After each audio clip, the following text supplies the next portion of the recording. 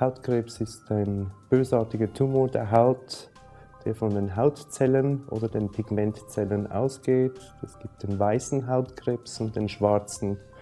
Der weiße kommt gerade von der Oberhaut und der schwarze entsteht aus diesen Pigmentzellen, die in den Muttermalen vorhanden sind.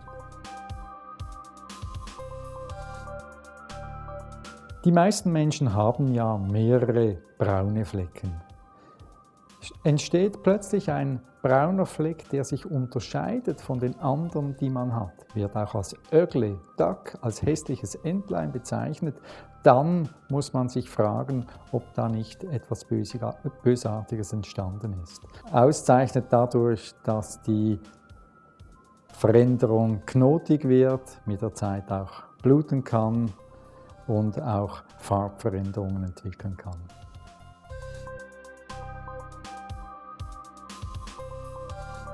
Die Hauptursachen für Hautkrebs liegen in der Schädigung der Erbsubstanz dieser Zellen.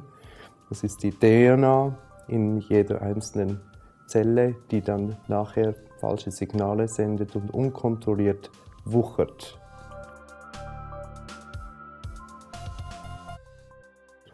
Diese Schädigung der DNA kann durch UV passieren, auch durch andere Strahlen, aber vorwiegend UV, Licht, Sonne und da unterscheidet man zwischen den UVA und B-Strahlen und es scheint so, dass die UVA-Strahlen mehr den weißen Hautkrebs verursachen und die UVB-Strahlen mehr den schwarzen Hautkrebs.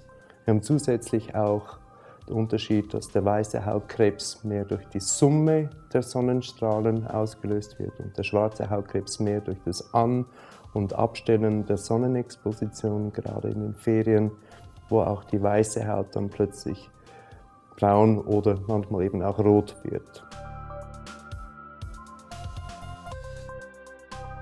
Es kann aber auch verursacht werden durch regelmäßige Solarienbesuche. Auch das ist nachgewiesen, dass es eine gewisse Hautkrebs erzeugende Wirkung haben kann.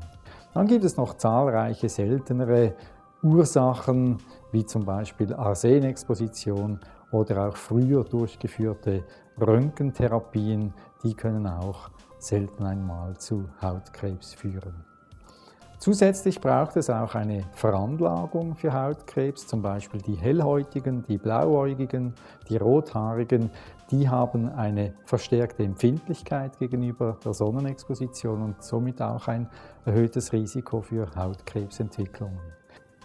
Diese sind auch die Personen, die auch in eine Vorsorge gehen müssten und ab einer Zahl von 50 Muttermalen zum Beispiel oder ein paar sehr großen Muttermalen den Hautarzt aufsuchen sollten.